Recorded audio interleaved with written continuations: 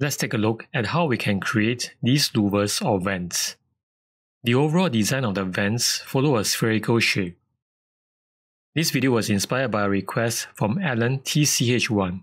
Thank you for the suggestion.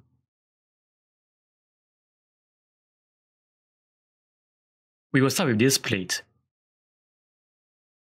Go to the Sketches folder and show the sketch named Thin Extrude.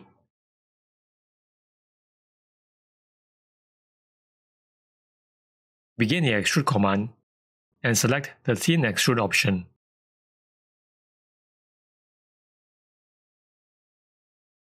Select the sketch line as a profile. Extrude this symmetrically.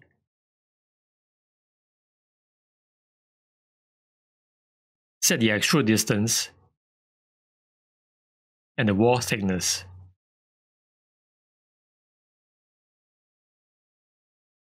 For wall location, set to center. We do not want this to merge with the plate just yet, so set the operation to new body.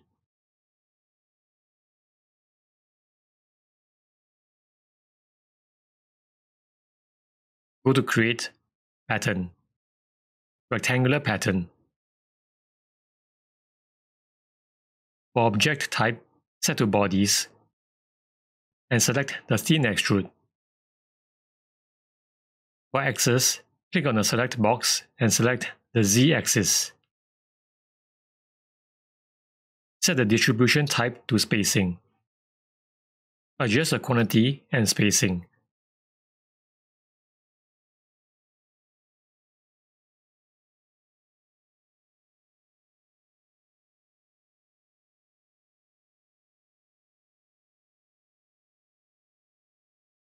Show the sketch named Revolve.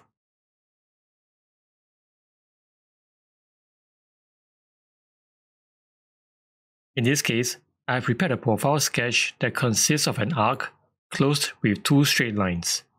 In your designs, you want to make sure that this arc fully encompasses the thin extrude pattern lengthwise. You would also want to make sure that the height of the thin extrude exceeds that of the arc.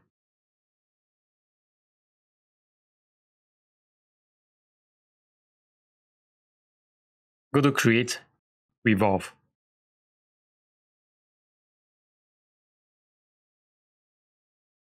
Select the profile and the axis. For operation, set to intersect. By doing this, we are telling the program that any portion of the thin extrude that lie within this revolved volume should be retained. Everything else should be removed.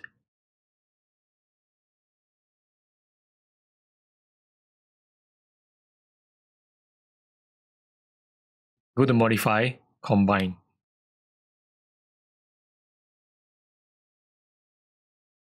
Select all bodies to merge them into one single body.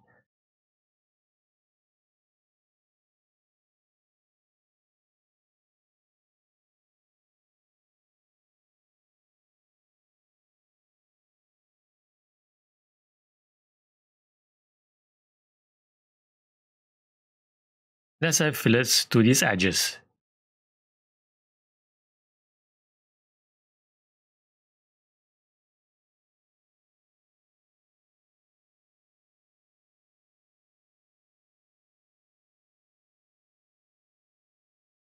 Go to Modify, Shell.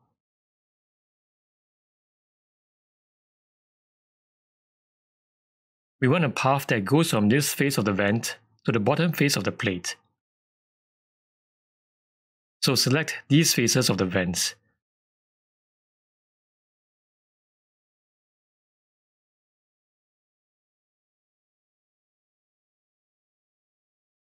Lastly, select the bottom face of the plate. The shell thickness should be adjusted to be equal to the thickness of the plate.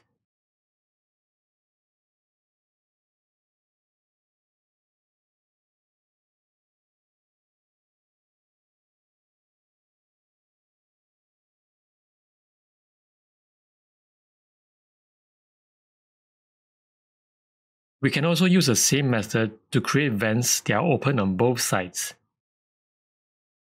In this design, we will probably not want to have the fillets, so let's remove them.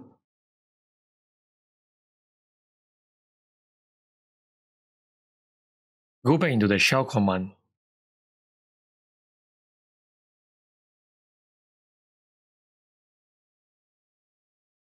Hold down the control key and add these faces.